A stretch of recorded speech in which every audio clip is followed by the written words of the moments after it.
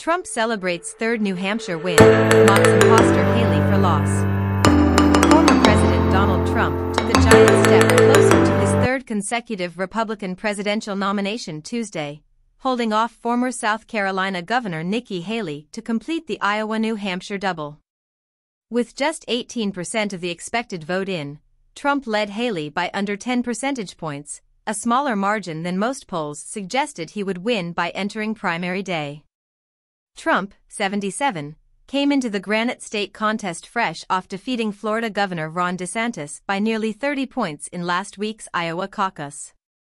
Donald Trump's victory over Nikki Haley in the New Hampshire primary makes it clear that he'll go on to be the Republican nominee, President Biden said in a statement Tuesday night. It is now clear that Donald Trump will be the Republican nominee, the 81 year old president said. And my message to the country is the stakes could not be higher. Our democracy. Our personal freedoms, from the right to choose to the right to vote.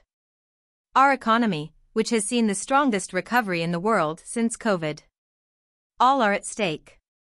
Thank you for watching. Please follow for more updates.